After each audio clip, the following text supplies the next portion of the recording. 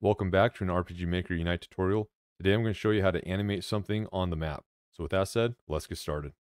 Alright, so in prior versions of RPG Maker, what you would do is you'd set up a sheet like this where you'd have a door on the down looking section, you'd have a left facing, door barely opening, door more opening on the right facing section, and then the door would be completely open on the up facing section.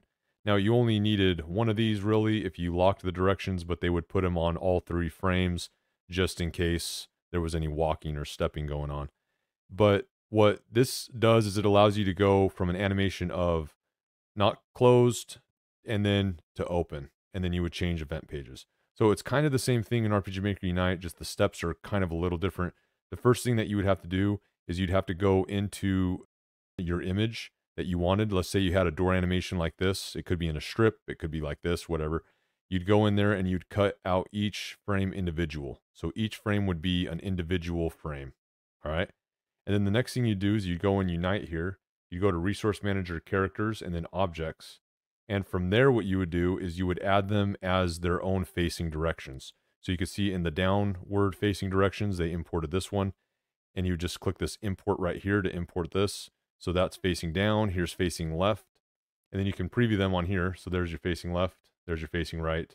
And then there's your, your up or your open in this case.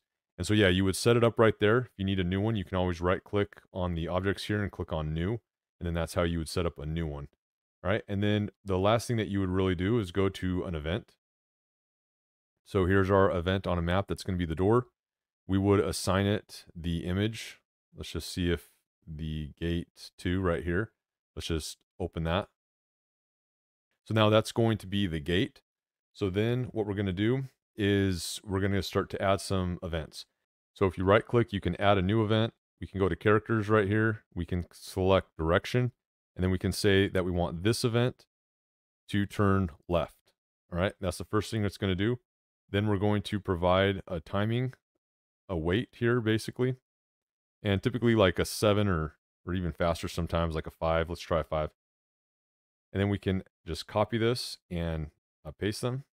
And i believe we can copy both of them and paste them nope just one at a time. Okay so copy paste and we'll need one more. Copy paste. Because this one is going to be our right and then this one is going to be our up. All right and then that should be it. The only thing that we would want to do is then we would want to make a new page. So we're going to say new event page. We're going to give this the icon or the image here.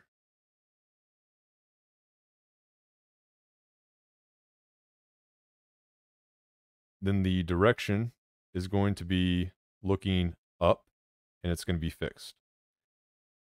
We also want it to have a self switch on of A. And then in this first page here, we'll just add a new one. Should be in game progression here. And we're going to turn A on. And that should be all that we need to do. If we playtest this, we'll be able to go and test the store out. So it's going to go, we're going to open it. It opens up. And then it will remain in that state because it's on a new page. So if you left the room and came back, this door would still be open. If you didn't want to open, you would just not put that page, this page that we added right here. We wouldn't put this page. We would just delete it. And then that one would just only run, run every time that you enter the room.